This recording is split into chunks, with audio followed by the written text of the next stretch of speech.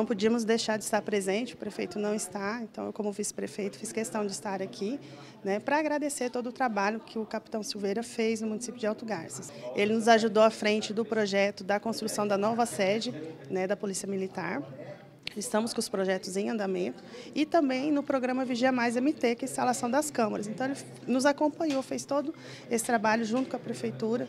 Então, a gente tem a agradecer aí. Também tivemos aí, estava lembrando, em busca da escola militar também.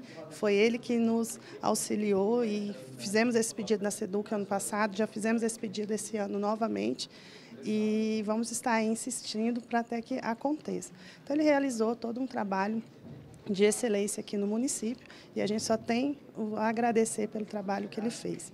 E aqui receber né, o capitão Tavares, a sua família, né, dar as boas-vindas aqui no município, dizer que a prefeitura municipal, como também nós como pessoa, prefeito, eu como vice-prefeito, estamos à disposição né, para continuar essa parceria aqui, com dando segurança a toda a população.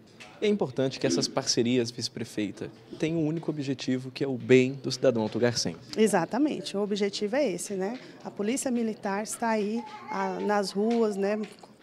dando essa segurança para a população e a prefeitura dando esse apoio, né? E eles também nos apoiando, né? Nos eventos, né? Então existe essa parceria para dar a segurança é, a toda a população.